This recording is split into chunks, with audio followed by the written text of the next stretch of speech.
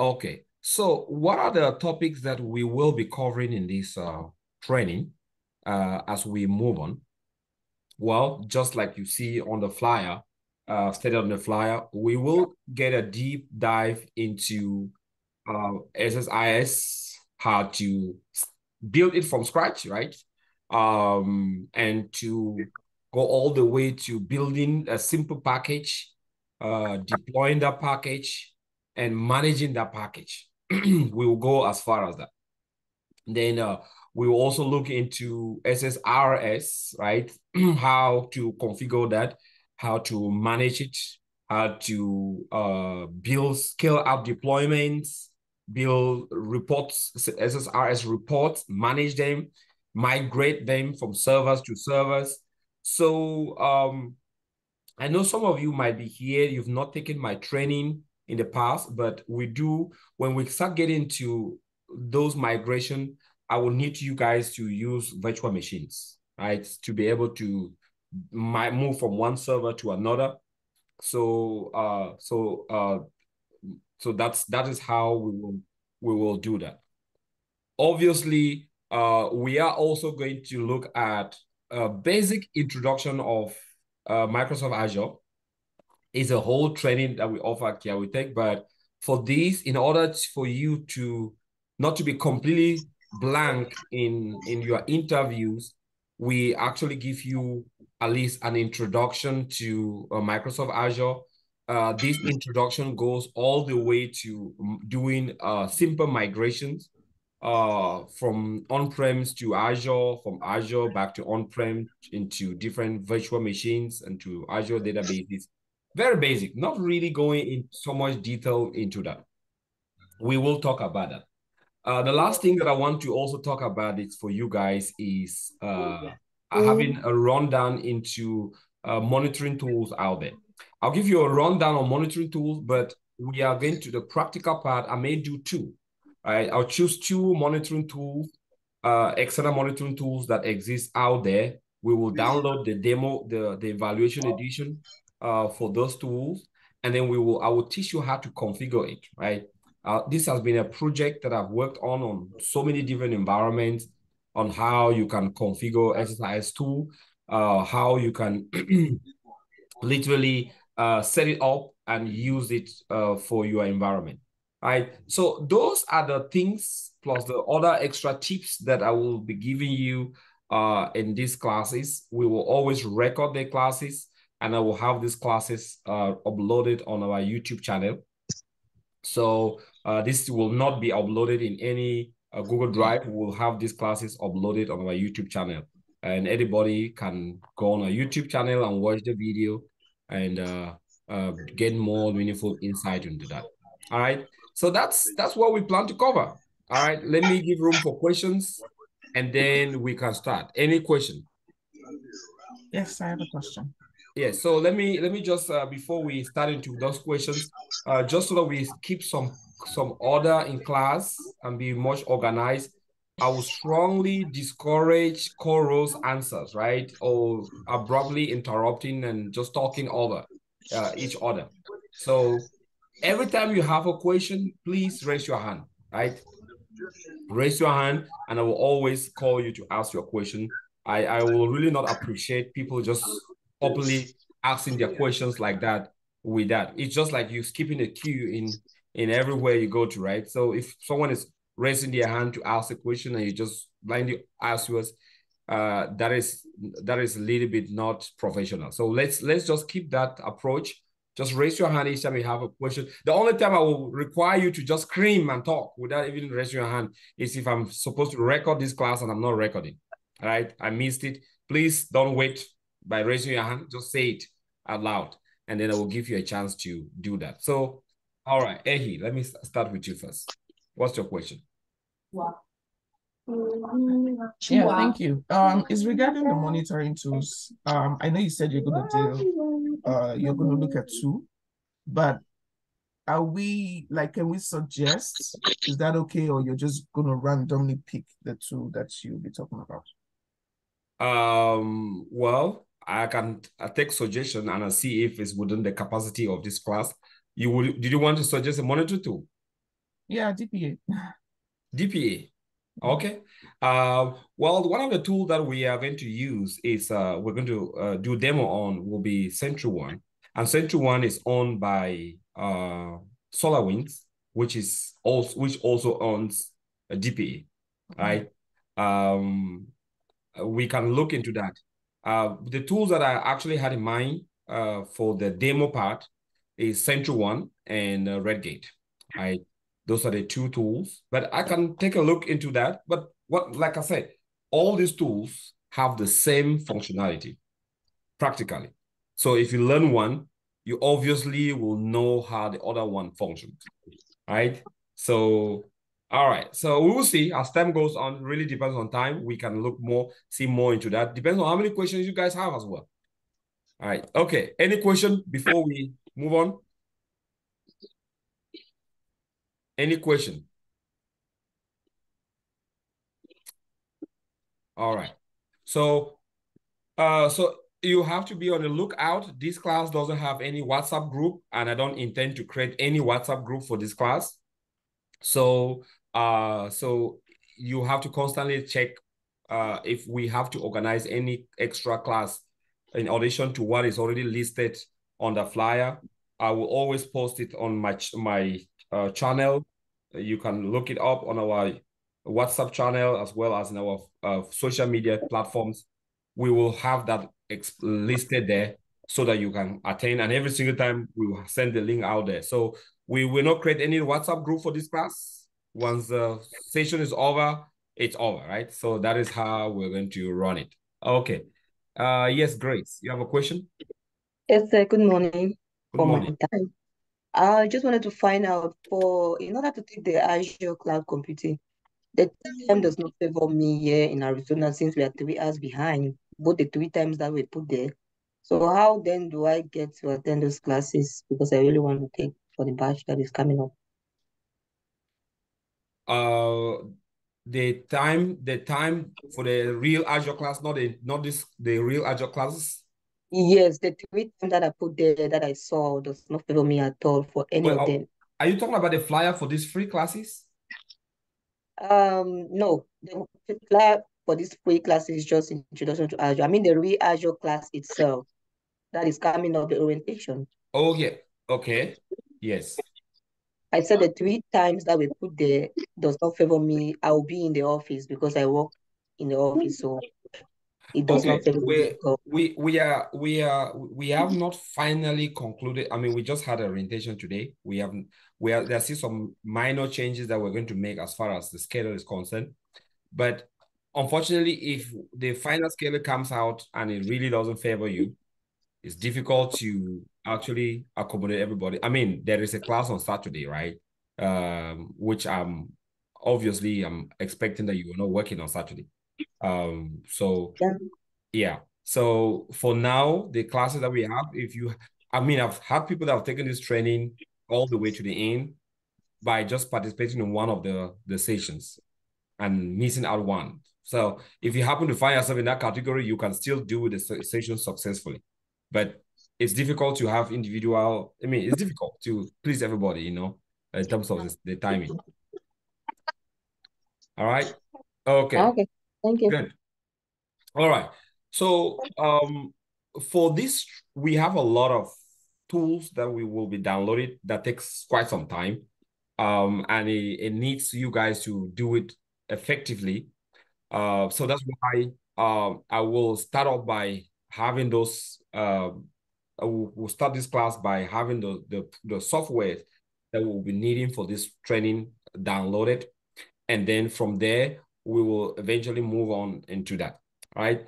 So um, for the, the SSIS training that we will be doing, we're going to be using uh, Visual Studio, right?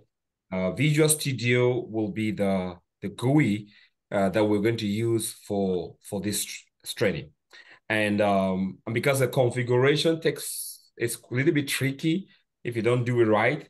I had thought about sending it out there for you guys to do it before class. But I remember from the last class, there was a lot of issues on that. Like I said, this is going to be a practical class. So we're going to start up today, uh, first of all, by just downloading the software. All right. And then we're going to use the software and start going step by step into the configuration and making sure that all of us, we have that up and running and ready for the class. All right. So if there's no question, I will share my screen and then we will move on from there. Any, any last question?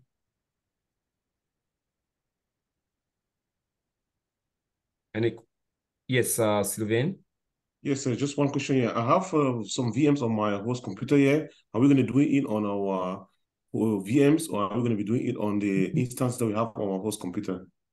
Uh, well, the we will do for this Visual Studio. I will I will prefer we do it on our host computers for now.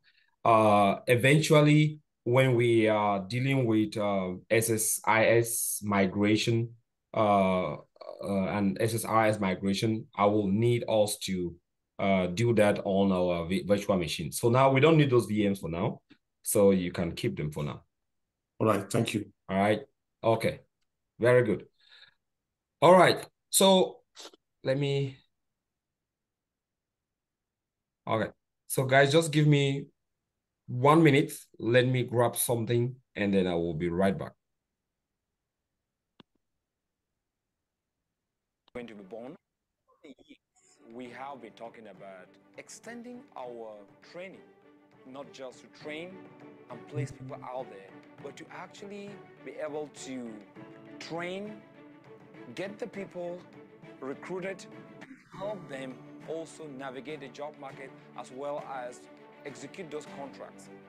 And Optech Consulting Firm is all about that. Under this umbrella, which is a sister organization of KiawiTech IT Academy, our goal is to train our trainees, mentor them, get them to the job market, and still be able to give them the maximum support that they deserved to be very successful in this job market. Mm-hmm. Well, we've been talking about this hub. This hub is going to be presenting a few more things, more services. And some of the services that we are going to be providing here at this hub is we are giving you a co-working. Hold on, guys. I feel like there's some lacking on the video. The video is lagging. Give me one minute. Sorry.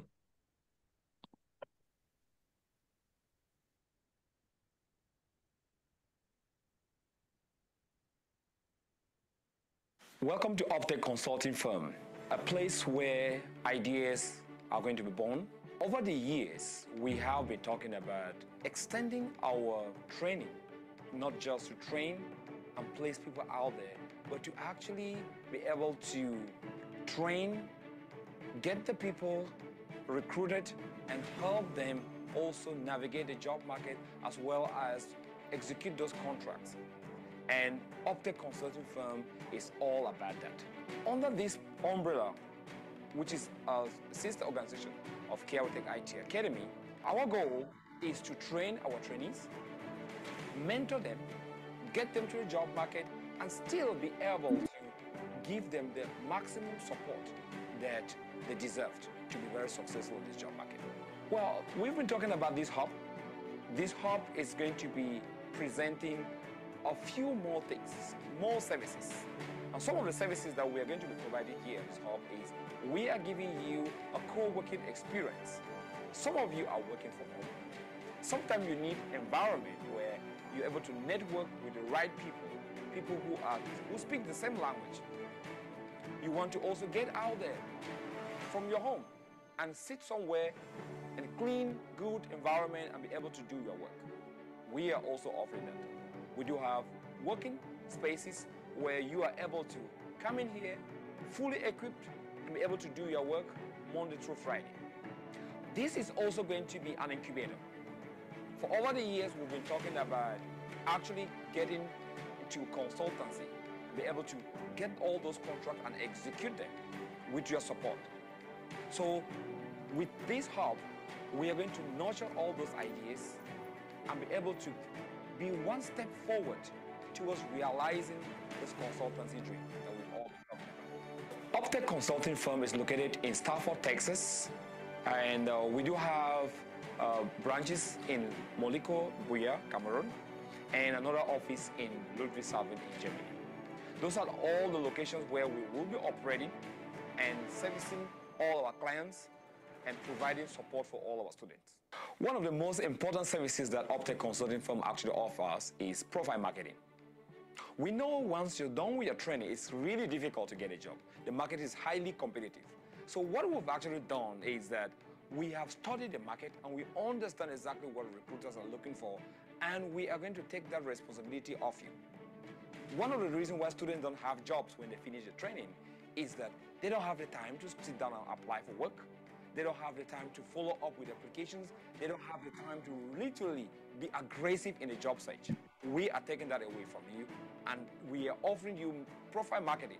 We're going to place you with the right people, guaranteeing a very return, a fast return of investment of you, whatever amount you're investing. Because we are going to make sure that you get to the job market as soon as possible. It really doesn't matter where you did your training. It really doesn't matter what field you studied. So long as it's IT related, we have you covered. All right. And again, sorry for the video that was a little bit lagging. I will share that once more so you can watch it uh, in YouTube. I, I saw that there was some lag. I just had to allow you to play. But I got, I hope you guys got the sound. The sound wasn't lagging. Uh, and uh, so some of the services that we offer here at Optech. And uh, feel free to take advantage of all this. Uh, we are constantly looking forward to helping you make sure that you get the right uh, uh, from the IT field. So, all right, we're getting started. We're going straight. And the first thing that I want us to do is I want us to download some of the tools that we're going to be using in this class, right? The first thing I want us to download, like I said, guys, this is not a webinar. Uh, it is a practical class. So you have to join this class ready to participate and do what we ask you to do. If you are here and your goal is just to watch, I think that you will spend your time wisely watching a YouTube video out there rather than being here in class with us. All right. Okay. So the first thing I want us to download is for the SSIS training, we're going to be using Visual Studio, right? can you please mute some of these people for me? Okay, let me log in as make me co-host. All right, please let me make you call so you can mute. I'm going to mute first of all mute everybody so we have a clean class and I'll give you the co-host so you can mute some of the people for me, please.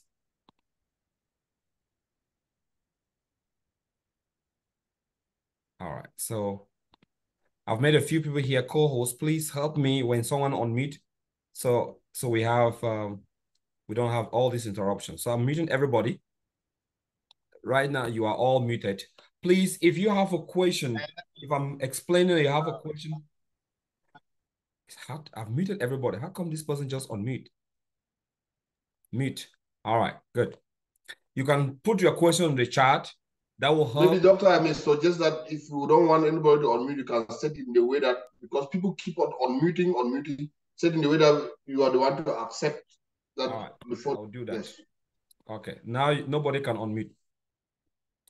When it's time to ask questions, I will give you a chance to unmute yourself. Right now, but you have a chance to ask your questions directly on the chat. Uh, using the chat, I will I will pay attention to that. But when it's time for questions, I will give you a chance to unmute yourself. All right. So I was saying the first thing that I want us to download on this training for the the first phase, which is really getting an introduction to SSIS, learning how uh, to use these SSIS for our workload as a production uh, support DBA is use Visual Studio. And Visual Studio has different editions, right? We have the community edition, which is an open source. That's what we're going to be using for this training. Uh, we have the professional and the enterprise edition, right? So these ones are there if you want to really leverage the full features, uh, you can use a free trial for a couple of days. But this class goes a couple of days, more than a couple of days. So I'll need all of us to download the community edition uh, of the Visual Studio. That's what we're going to be doing. So let me share this link here on the chat for all of you. But if you just click online and then just go ahead and click download, right? Right? Just click download. It will take very short time to download. You can see mine is already done downloading. So I'll share this link here in the, in the Zoom in the Zoom chat for all of you to click on it and download. All right. chat. Okay. All right, the link is on the Zoom chat. I need everybody to go ahead and download that, that software. Right? So uh, there are a lot of different videos that you can also watch online if you want to learn more on Visual Studio. Uh, so another thing that I want us to look at to download, another tool that you guys need quite a lot is a Visual Studio Code, right? Visual Studio Code, you can use Windows or Mac MacBook for this download. Right? There's also a free download just below the same link. You have Visual Studio Code that I need you guys to go ahead and download. So let's download it. If you click on download, you have to choose whether you're using Mac or Windows. So I'm going to go with the Windows download, and then I'll download the download it as well. So that one takes quite some time to download. So if you're having difficulties or any challenge, just post it here on the chat, please. I will be reading the chat uh, as we move on with this training. Okay. While you're waiting for the, the Visual Studio code to download, I think the first link should go very fast, Visual Studio. Uh, you should be able to see it already downloaded. So if I go on my downloads folder, I should be able to see there uh, the installer. So we're going to go ahead and run it and install it. So I'll just double click on that and it extracts it. Yes, install. Yes, I want to install Visual Studio.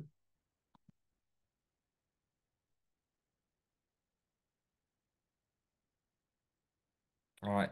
Before you get started, we need to set up a few things so that you can configure your installation. All right. We'll click on next and it start installing. Guys, it's very, very important that you don't miss this class, this particular one right now, okay? Because everything that we're going to do depends on you having a successful installation. You missed it, well, I think you can only come back next time we offer these trainings uh, to be able to do that. Kindly paste the second link. No, the second link is right below the first link. So if you click on the download for the Visual Studio, if you open that link, the first thing you download is the Visual Studio 2022, the community edition. You click on download and then just scroll down a little bit. At the bottom of it, you have Visual Studio Code. All right, just click on download and select what operating system you have and download it. All right. You have a question, use the chat, and then I will I will always address your question. Okay. I will hold on a little bit for everybody to download and we get here.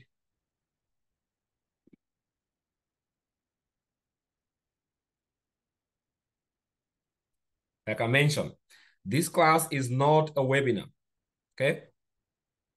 It's a webinar. I'm just going to teach and then you take note. But this is a practical class. I need everybody that is here to participate.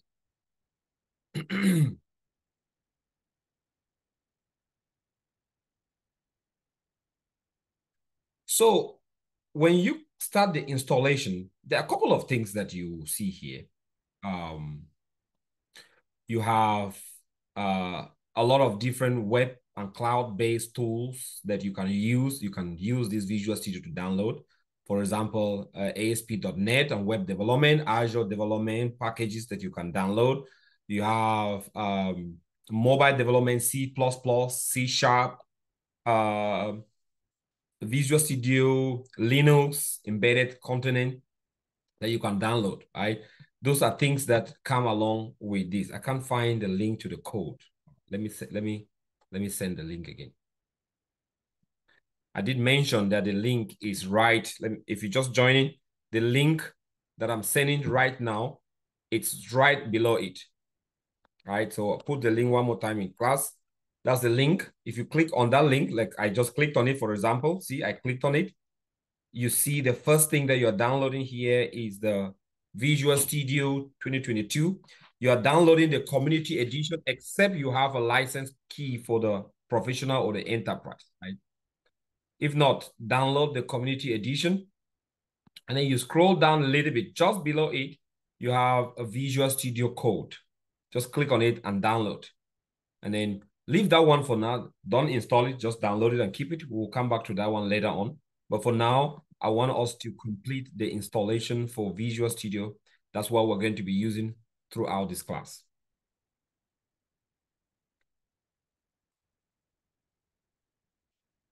All right. So um, we're downloading the community edition. Install while downloading. It, it, it will require roughly 1.2 gigabyte for this Visual Studio to be installed. So I'm just going to go ahead and click on install. And do you want to continue without workload? Yes, let's just continue installing. And it may take some time depending on the your internet speed. It may take some time for this to download. All right, so I'll pause the recording here and answer some questions. One, unmute. Now you can unmute yourself and ask your question. Yes, any question? Any question or any challenge? When I click on it, it gives more option. Which one should I choose? You're choosing, depending mm -hmm. on your operating system for your computer, you're choosing that, right? It's either the Windows or Mac. Those are the two most favorable ones that you're going to download.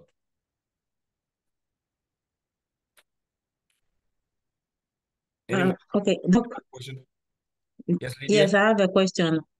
When you get to the interface where you have the Azure development, Python development, and all that, bottom, we just go ahead and install. Yes, yeah, at the, the bottom. bottom right corner, it says install while downloaded. So it will be downloading and doing the installation at the same time. Okay, thank you, sir. Right? Okay.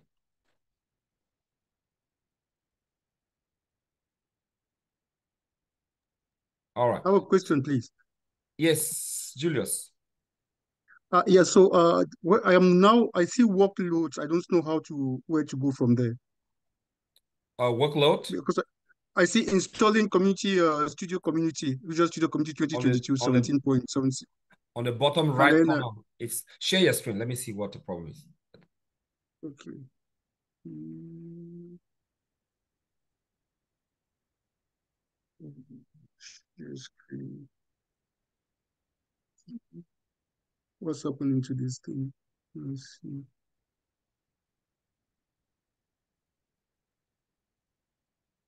Okay, so share screen. Mm.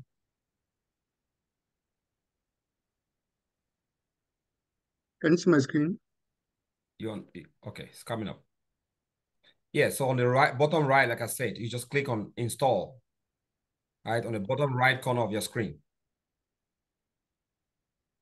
You are not going to add any of those components for now. Just install the Visual Studio. We're going to add the components later on. So on the bottom right corner of your screen, just click on install here. Oh, okay. Let's see. Install while downloading. Click on install, please, and just install it. Just click on install. Well, I can't see. Stop sharing and you will see it. There's an install right after that icon. You see oh. installed it. Okay, All thank right. you. All right.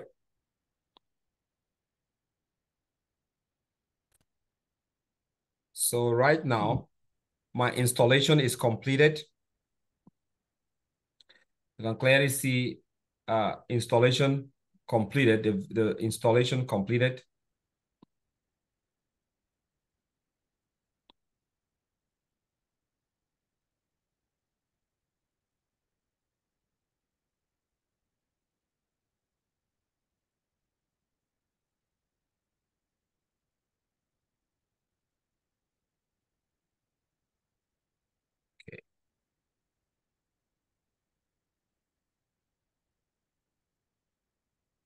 All right. So when it, it completes, it will require to sign into Visual Studio or create an account or skip it for now, right? Uh, if you wanted to collaborate uh, with in real time with Azure services, you can sign into an Azure account or you can, if you don't have an Azure account, you can skip this uh, for now, right? and then just go ahead and, and click Start Visual Studio.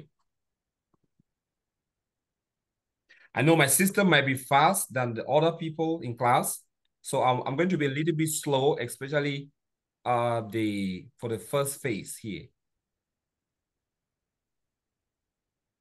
Yes, the video will be uploaded on our YouTube channel and you can uh, watch it and then do the, the practical part, right? We'll upload the video on our YouTube channel.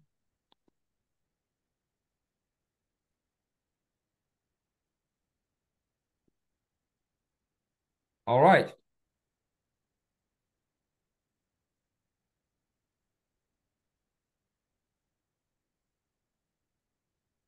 So I'm going quite slow because this is the installation phase. I want everybody to do it right. So if you have a question, please use the chat. Just ask your question and I'll address it immediately, please. Just use the chat, ask your question, and I'll address it immediately.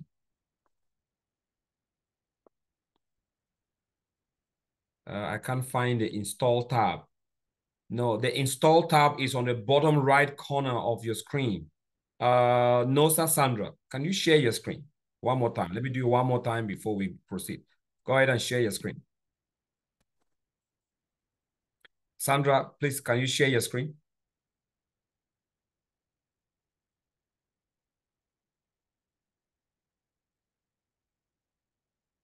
Okay, so this is, that you're still on the website. Where's the, the download that you downloaded? is that a second download or the first download? This one is a Visual Studio Code. Where's the first download? Go on your download folder. Go on your download folder in your computer.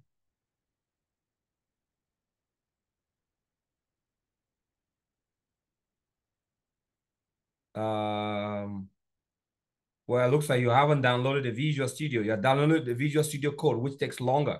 Go back to the link, the first link that I sent to you on this first link.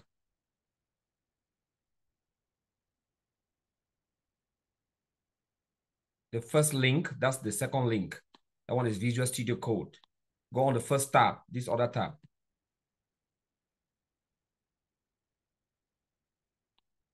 This tab. Yes. Did you download this? Scroll down a little bit. Did you download this community edition? No, no, no. Hold on. This community, not the Visual Studio Code. Did you download that? Uh, I, I forgot that you're you're muted. Unmute yourself.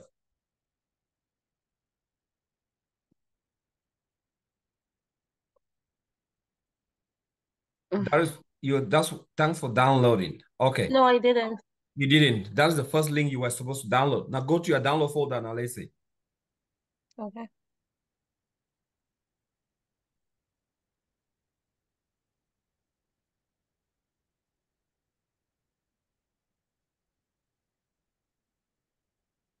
Can you go to your download folder, please?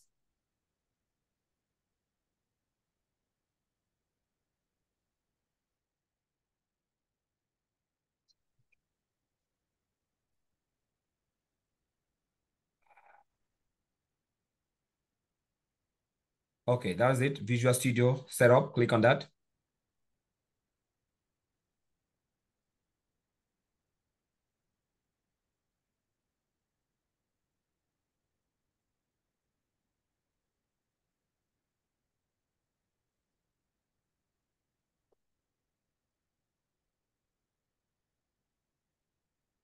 Continue.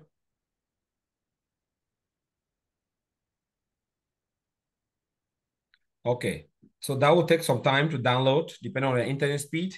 When it's done downloading, there will be an installation uh, to go through. Let me know if you get stuck. Put your question on the chat and then I can help you address that, okay? Okay, sir. Thank you.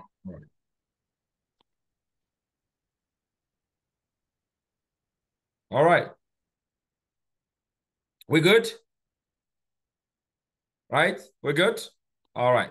Perfect. Yes. I want to go slow to make sure that everybody has it done correctly because so once you get here, let me close this. So once you're done installing it, it says install Visual Studio 2022 Community Edition. You can just go ahead and click launch and it will launch the Visual Studio.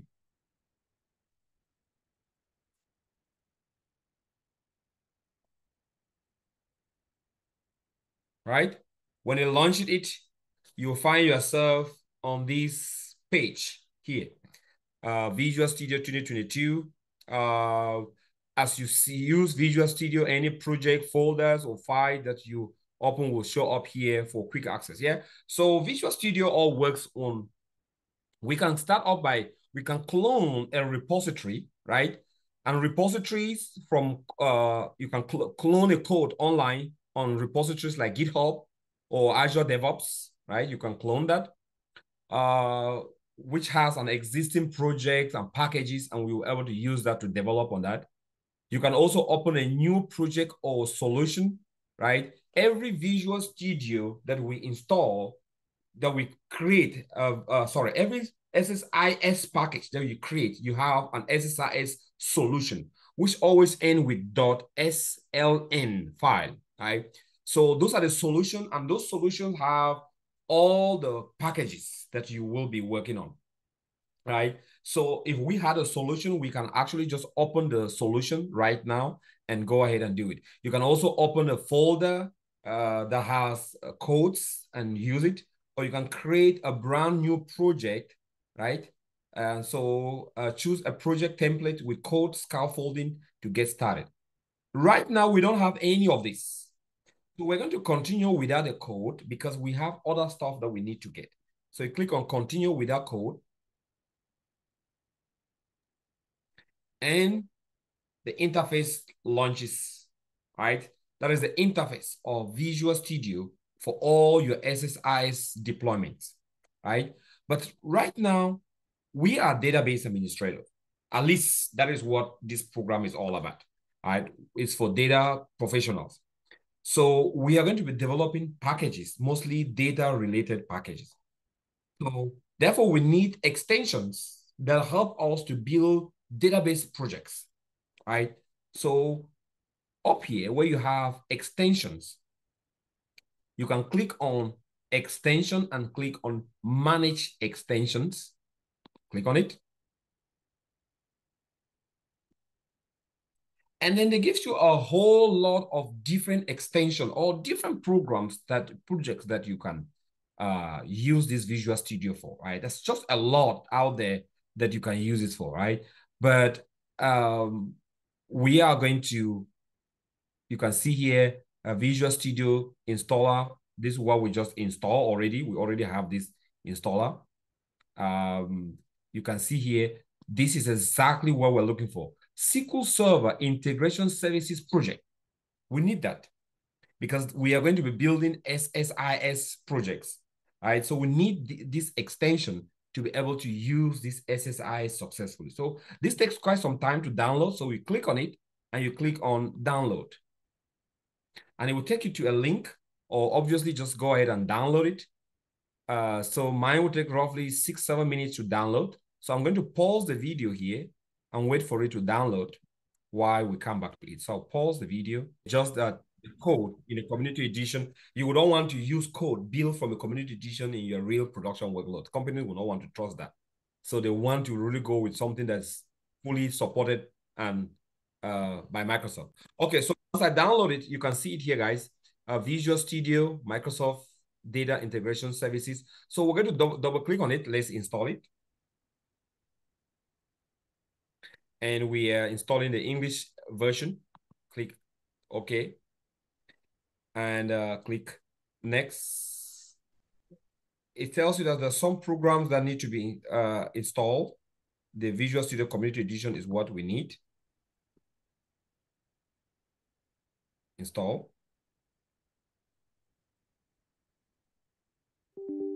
And you need to close all these programs before you, all these Visual Studios, you need to close them before you can continue. So close this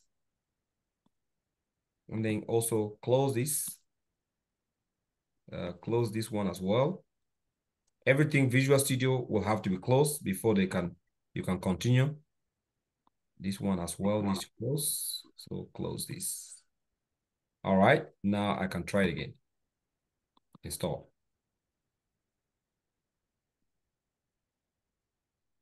Stop.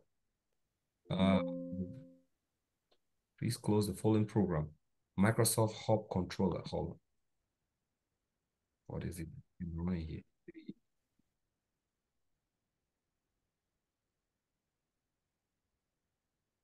You know what? Let me first just close this now and make sure that nothing is running. And then I do it again. Double click. Yes. Next, install. Yeah.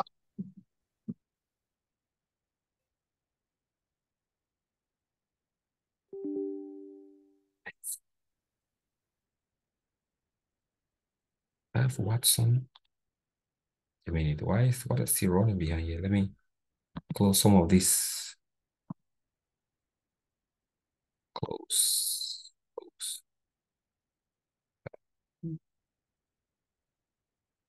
Close this. Close this. Close. This program seems to be very sensitive, so need me to close a couple of things. So install.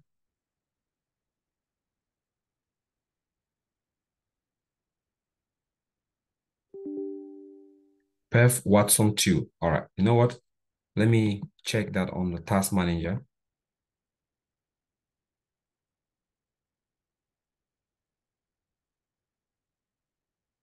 That's complaining about a program called Perf Watson 2. Let me make sure that program is closed. It's on P or PQR.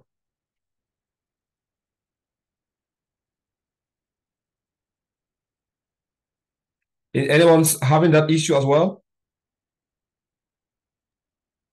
Yes, I have the same issue. So sometimes I, I, in the past, I've had this issue where literally I have to restart. I have to restart my system before I can do the installation. So guys, if you're in class and you're having that, uh, the person that had that issue, can you just restart your computer briefly and let me see if it's going to solve the problem? Um, and before you do, yeah, mine worked. You restarted your computer and it worked? No, no. I just closed the programs that I had open. Okay. Yes. Uh, all right. Let me just restart your computer, guys, and try it again or close most of the program that you have open and uh, just make sure that you have uh, let me close this one as well. Close this. Close this. Close. Okay, there's also this guy here. Close. And uh, close. All right, just go ahead and close it and try it again. Let's see.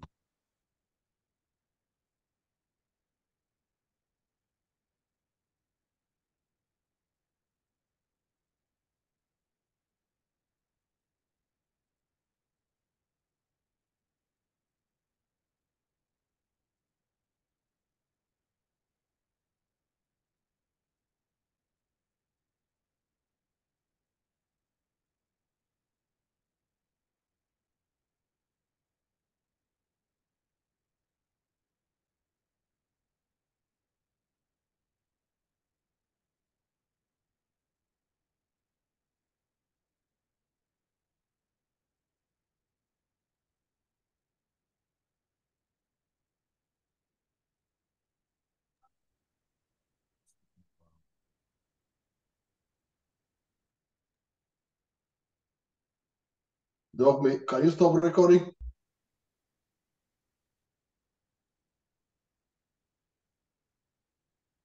Very good. So this this is a whole project at work, right?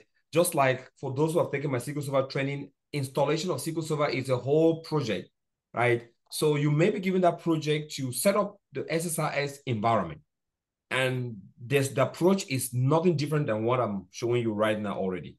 So you will have to go make sure download Visual Studio, make sure you get this uh, uh SQL Server Integration Services project downloaded. You install it, and then you may once you've done the installation, then you can then start effectively learning how to build your packages, right? So this is the approach. I want everybody to make sure you have this done correctly so that you're able to deploy your packages. Any question up to this point? Any question? Anybody has any question?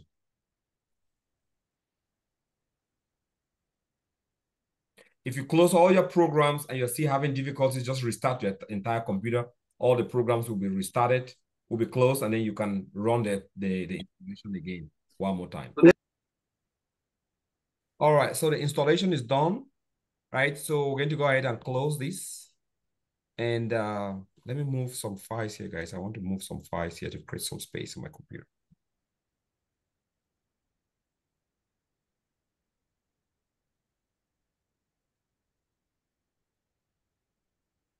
Running seriously out of disk space with all these installations. Okay. All right. So once that is complete, we can now come back here and launch Visual Studio. Visual Studio. Right? Make sure you log in the right one. Visual Studio 2022. Click on it. I love the way the guys have changed it. Looks beautiful. The interface looks really nice now compared to the previous versions.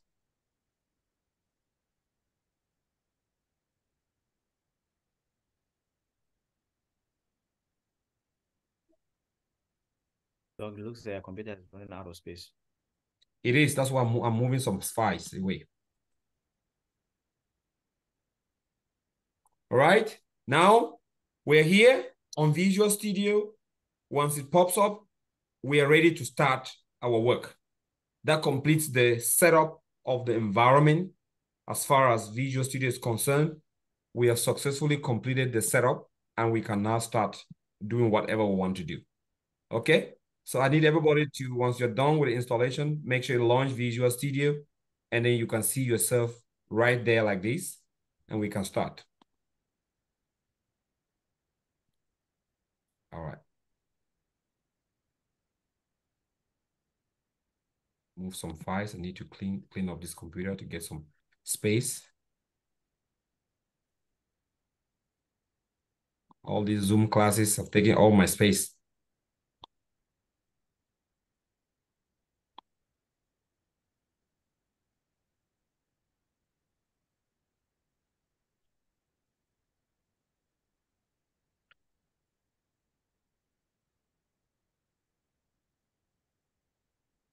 Right. Okay. So let's go ahead. Stop here. So all you need to do is go here on your uh, bottom screen here and type Visual Studio. I'll select this Visual Studio 2022, launch it, and you should find yourself on a screen like this, black screen with nothing on it. All right. Okay. Now, what are we going to be doing? Um, what exactly we're trying to do here, right? So this is really like a brief introduction what SSIS is all about, right? Now, SSIS, we stand for SQL Server Integration Services.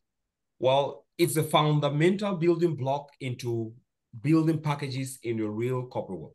Now, SSIS will rely on the so-called ETL, and ETL will stand for extract, transform, and load, right? In, in a corporate world, data will not always come in the form of um, a structured data. Uh, you will have data in several different forms. The data may come in as a form of uh, Excel sheet. It may come in the form of uh, uh, uh a SQL server. Maybe you need to move the data from one SQL server to another. You want to move the data from a, a, an Excel sheet into SQL server, from SQL server to Excel sheet. All these different versions which you have data will need to be consolidated and SSIS is really the tool that you can do that. You can build SSIS packages to do all kinds of things. Your backup and restore processes, your your your your uh, data transformation packages.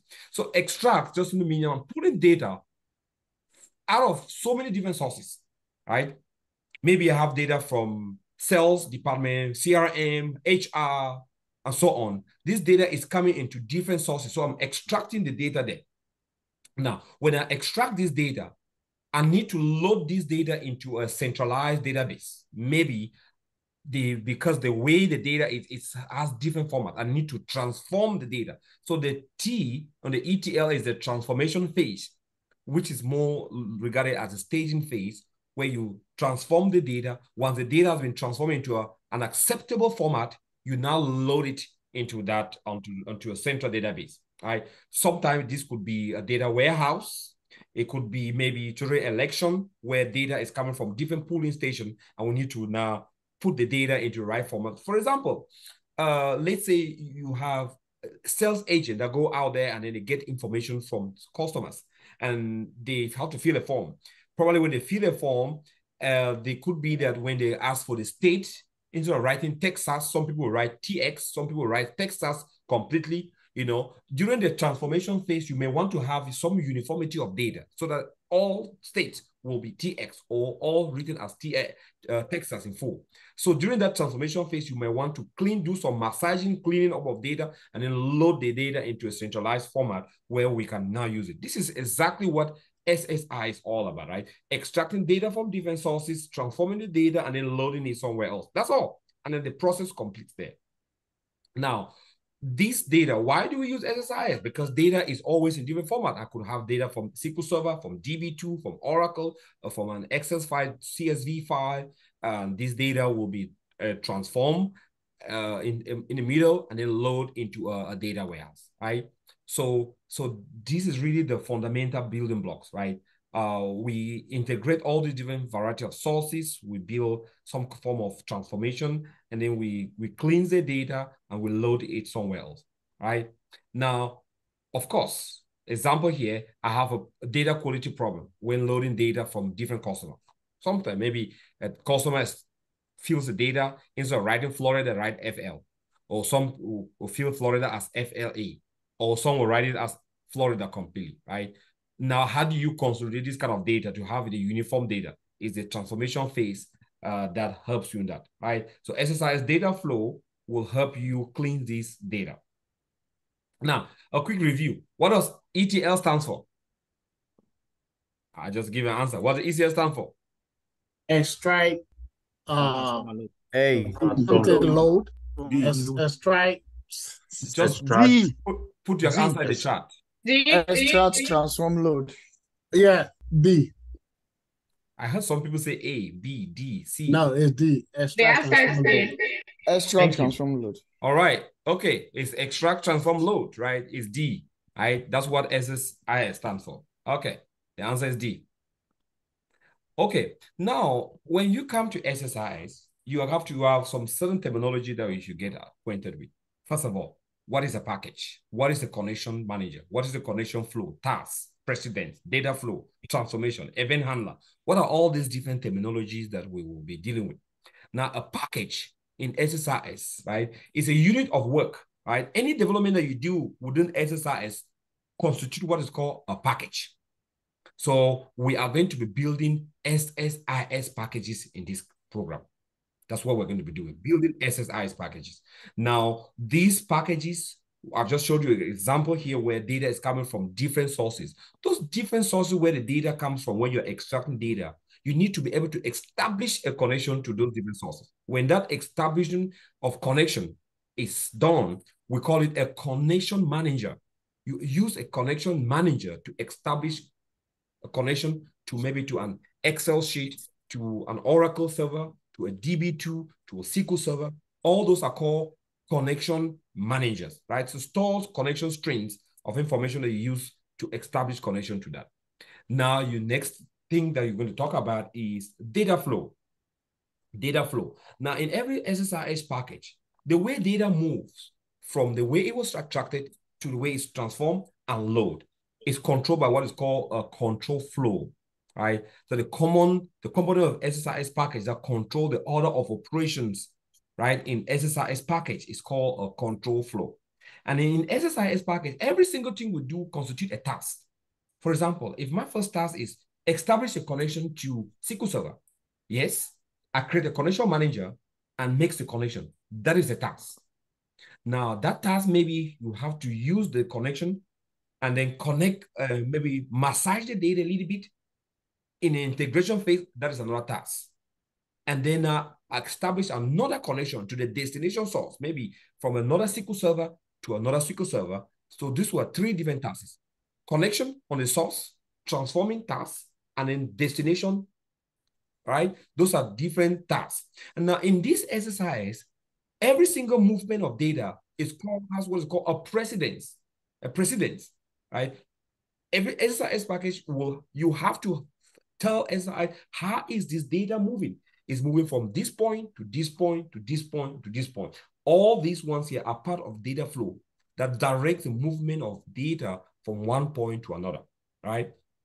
Right. So uh, the data flow itself uh, is a task that coordinates data movement and the transformation, right? So eh, the control flow tells you how the data is moving, and the data flow shows you how the data is moving. And the transformation is just the task within the data flow that, that you apply if you need to do some form of transformation. It is not in every single SSIS package that you build that you need to transform data. If I'm moving data from SQL Server to SQL Server, there's no transformation needed, right? If I'm moving data to Excel to SQL Server and I need to massage it, there may be some level of transformation. And within the whole process, we have what we call event handler.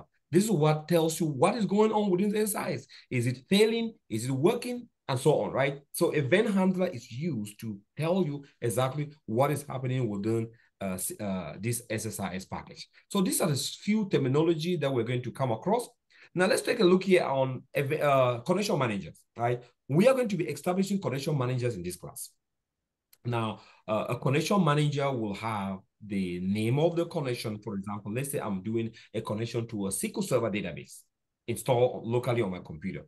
So the connection manager will be the name of the server, if it's just a default instance, or the name of the server and the instance name and the database name, right? For example, right? You can see here, uh, the, the naming convention, typically you want to name them in that order for connection manager so that you can you don't have to miss let's say i'm doing connection to multiple sql servers. Each connection that i establish to a particular database will have its connection manager. Let's say i have one instance of sql server that has 10 databases and i need to establish connection to each one of these databases i have to name all these co connection managers based on the instance name the what is default or name and in the database right? So that at least I can always, because once the connection manager is created, you don't always have to recreate it each time you want to connect to that. So that is how uh, that is done. Now look at this typical data flow here.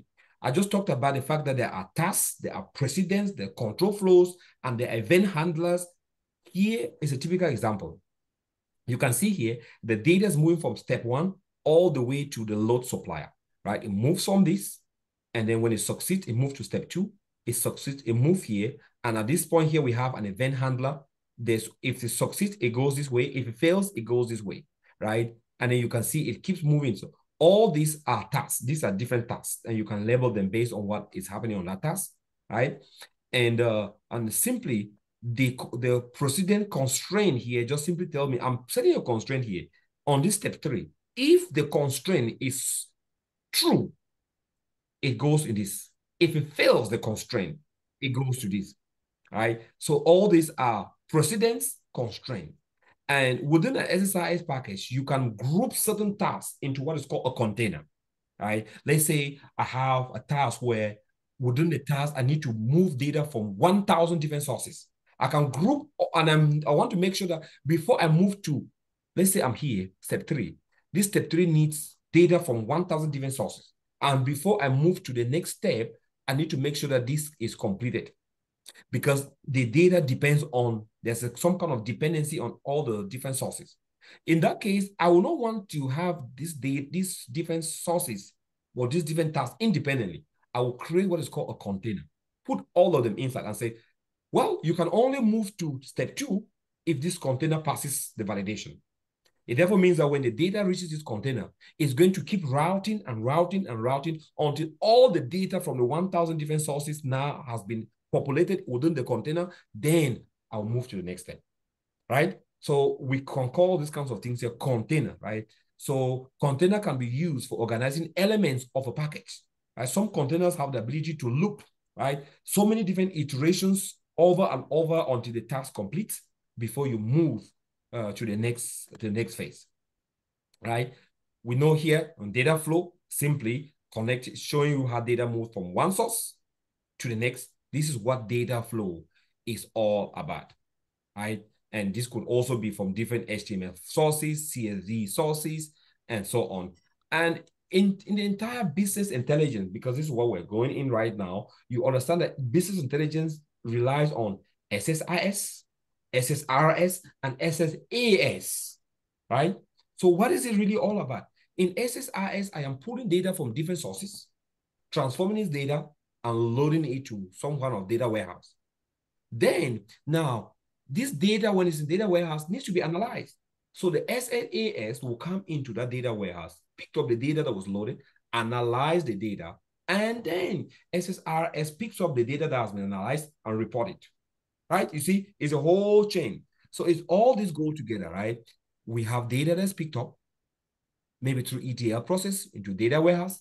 It's analyzed in form of cubes, and then reporting comes in and reports the data and sends out the information and then the, the business owners makes informed decisions at the end of this, right?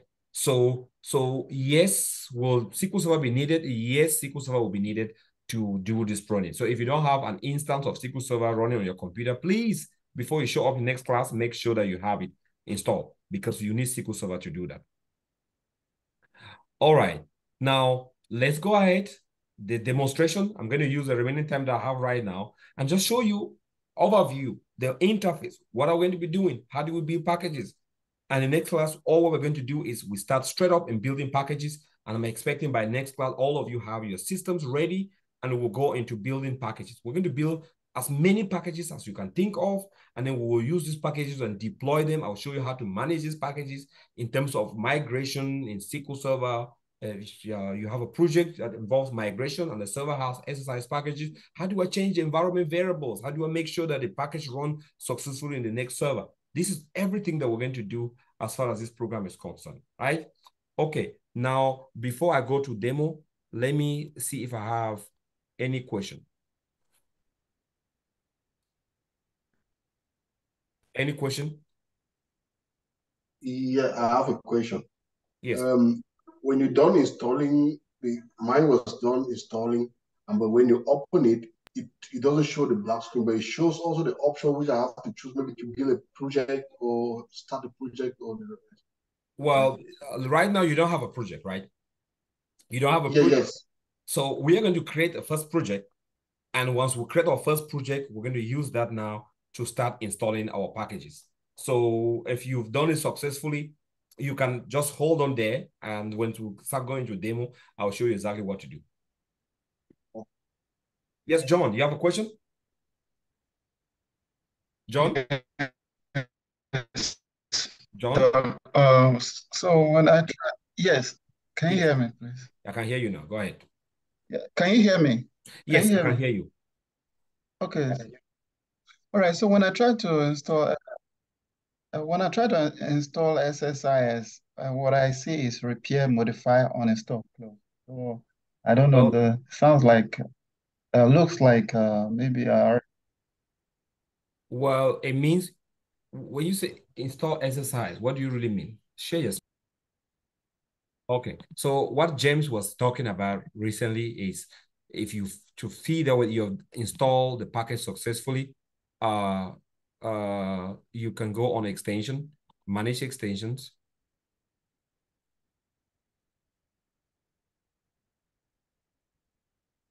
Connection to the server could not be established before error. What is it? Click here. Okay. And then scroll down. And then you see integration service check with a green button. So as you learn, if there's anything, you see open Visual Studio Code we had asked you to download Visual Studio Code. You could also download it through this format. Uh, but anything that you install will show up here like this as install, right? So there, you as you learn more here, you're going to see that there are a lot of things that you're going to need from this. Uh, I don't want to bombard you with so much, but for now, that is exactly how you do it. Okay, so at this point now, we when you have this, I remember last time I told you about it, you can start a new project, right? You can create a new repository or open a file or open project from an existing code, right? You can clone a repository and so on, right? So right now we don't have any. We're just going to create a brand new project, right? We're creating a new project. And uh, the project that we are creating, we are creating a integration service import wizard, if that's what you want to do, or integration services project. So this project may be used for building high performance data integration and workflow solutions that can use to run SSIS catalog, including extraction, transformation, and load. This is a project that I want us to create. So we're going to create this one next and just call it here module one. Call it, just call up that the project that you're module one, SSIS underscore. KiawiTech. All right, that's just a project. Now, what look what happens here. Let me change the name this order. It should be KiawiTech. Right, underscore SS SSIS underscore module one. Right? Okay. Now, that is the project name. This is where the project will be located in your computer. And this is the solution. Remember what I said? You only open the project from the solution. Now, if you don't want to have them on this location, you can literally change this location. So you can click here and maybe look for where you want it to go to. You may want to have a different uh, location for this project and it will go there. I'm just leaving it on the default location for me, but you could literally just go here on your Dix and then create a folder called um, SSIS Masterclass, for example. Right? And select that folder. Now the solution will be saved on that. That's the solution name. That is a location. Uh, place solution and project in the same directory. Yes, I want everything to place in the same directory. And then just go ahead and create.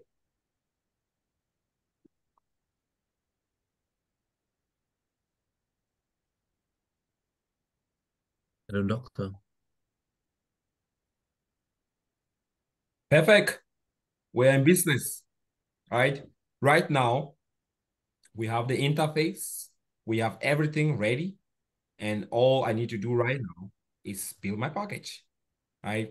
So uh, you can watch a lot of videos here, like sample videos here. You can say my first SSIS solution. You can pick up this one here and see the tutorials online on uh, on how to create an ETL package, deploy ETL package. We're going to do all these different different things in our next class. You can also look at here control flow basics and data flow basics, right? You click on it, it takes you to the link.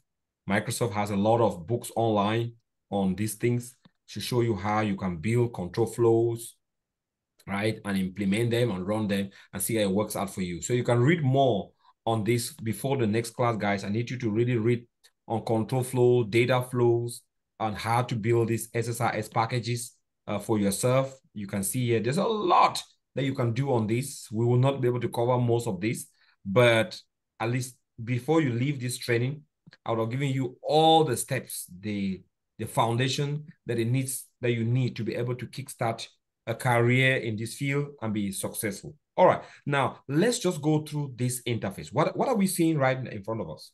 Right, what are we seeing? We have just created a solution uh, uh called KiawiTech SSIS Module 1. And you can clearly see here, this here, every solution that we create, this is the solution that we create, has under the solution parameters, project parameters, connection managers, SSIS packages, paths, miscellaneous, link Azure resources. For example, Azure SSIS integration runtime. Remember what I told you? Integration runtime is already very, very integrated in all the things we're doing. And we always have Azure storage, right? So these are the various things that you have under Solution Manager. So on the Visual Studio, you have a Solution Manager on your right, which gives you everything that you're working on, right? On the left side here, you have what is called Toolbox, SSIS Toolbox. And this toolbox are grouped into different things. For example, you always have like the favorite ones, things that you use most of the time. For example, data flow or an executes flow. Let's say I just want to build an SSIS package that executes an, a, a SQL Server, SQL Server statement. Any SQL Server statement that you know, you can get that SQL Server statement and build a package out of that. So we will start by building very, very simple packages, just like I want to run a select statement, select star from a particular database. I just, that's my package. You can build a package for that. I want to do a package that just do restore database. I can build. I can get a package that does com, uh, backup, copy, restore, like doing data refreshes. You can build them from these SSIS packages. All those kinds of little, little packages that we will deal with, you can do that. So Favorite tells you the things that you do on a regular basis. Now, the common ones here, for example, data flow. If I click on data flow, for example, right? right? Data flow, if I double click on it,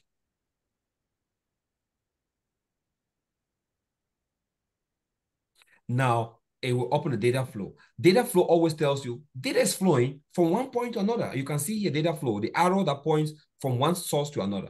Now, if I double click on this data flow, it will need to know, okay, how do you want your data to flow, right? And you can clearly see here, it's already telling me source, and destination because well data must always flow from source to destination, right? If you go back to data flow here, you always see the arrow pointing like that.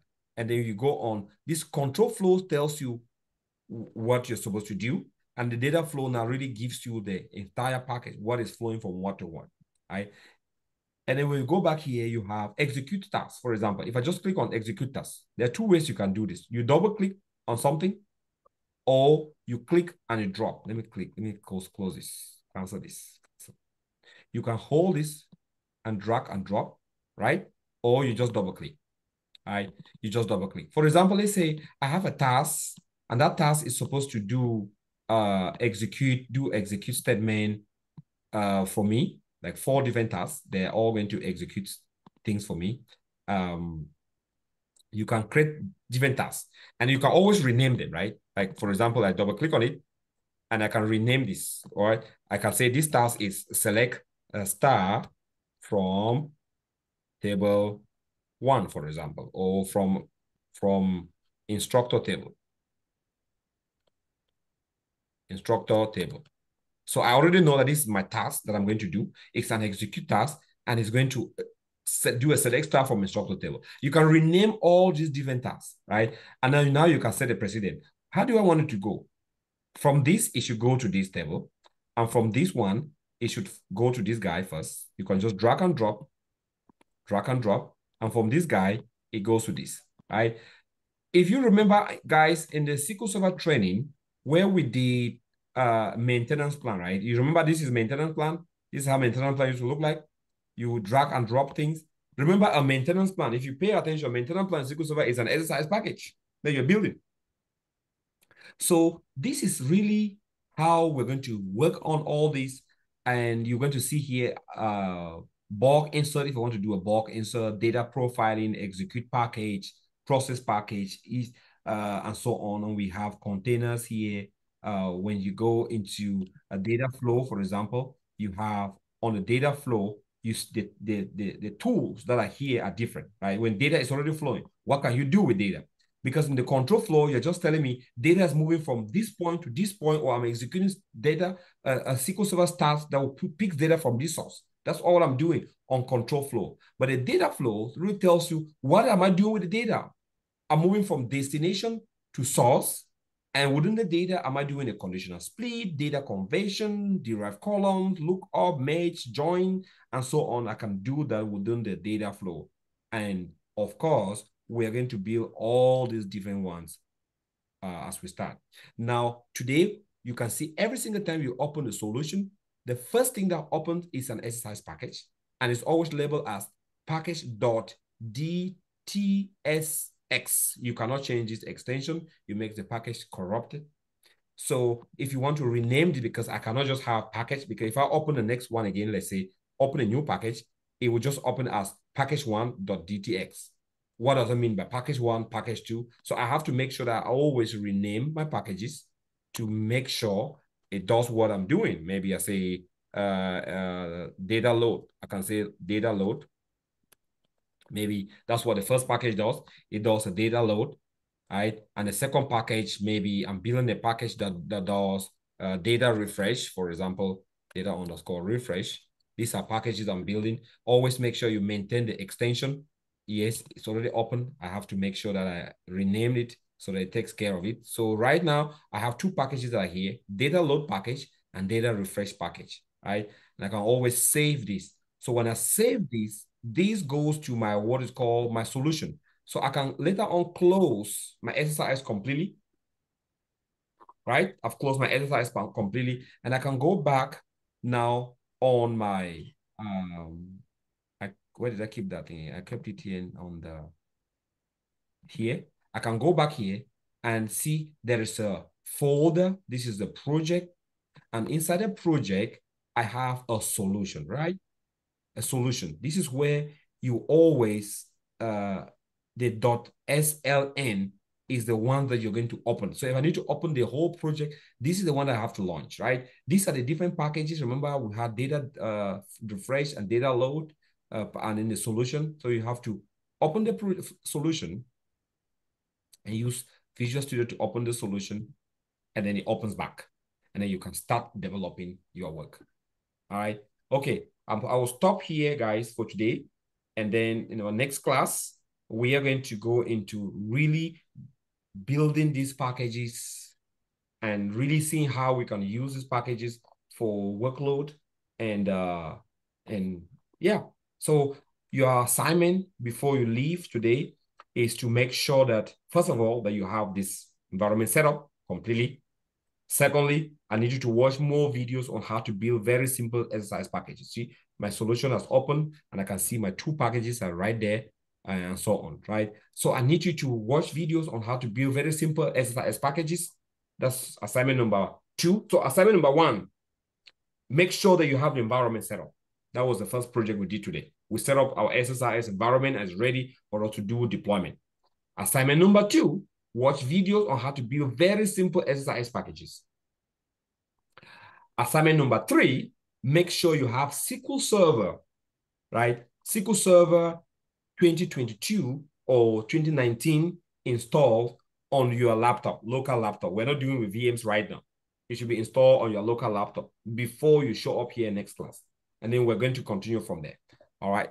That was it for the assignment. Make sure you do it before you show up. And I want this class to be very, very lively, just the way it is like that. Congratulations to the huge attendance. We have about 100 plus people listening. There is huge impact to community. I'm, I'm happy that when we invest time on something like this, people do show interest and they do show up. That's also encouraging factor for me and the entire team, right? Thanks, guys, so much. I hope it was helpful, at least the beginning. And I hope that you stay committed. I know that you need it anyway. I know you need this thing that I'm teaching you. So, uh, so we will meet again next class. All right, let me stop the recording here. So this video will be available on our YouTube channel. Uh, Zeps, can you please uh, put our YouTube channel here on the link so that if anybody is not part of the YouTube channel, you can click and subscribe. And then when I upload this video, you will have it available and then you can watch it, do the assignment before the next class. All right. Yes, I'll do that now. Okay, thank you.